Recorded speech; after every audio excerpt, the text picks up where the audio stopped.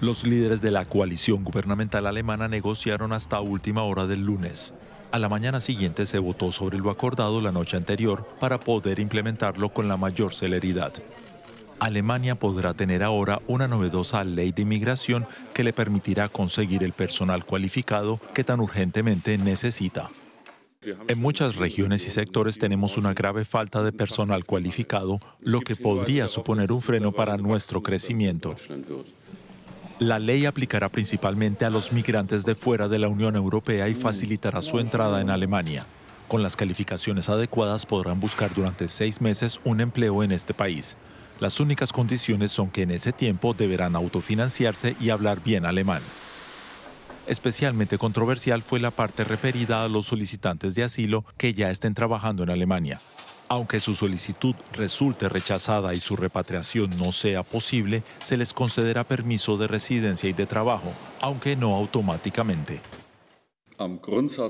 Mantendremos la separación entre migración política y económica. La legislación sobre el permiso de residencia incluirá claros criterios para definir de forma fiable el estatus de aquellos capaces de financiarse gracias a su trabajo y que además estén bien integrados. La nueva regulación se aplicará a partir del próximo enero y tendrá vigor durante cinco años, pero antes el Parlamento deberá aprobar esta nueva ley de inmigración.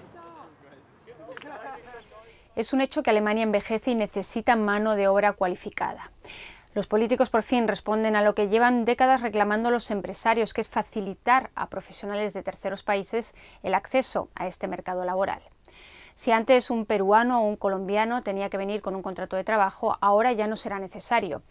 Podrá venir durante seis meses todo aquel profesional que busque trabajo en su campo, deberá tener conocimientos de alemán y deberá contar con recursos propios ya que en esos seis meses no tendrá derecho a prestaciones sociales. Algo parecido existe ya para graduados universitarios que quieran hacer aquí una maestría, por ejemplo.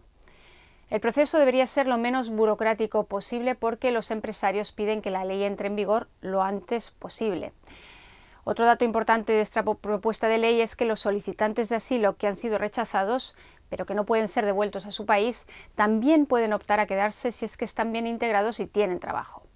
Hasta ahora, muchos empresarios tenían miedo de formar a refugiados por temor a perderlos después.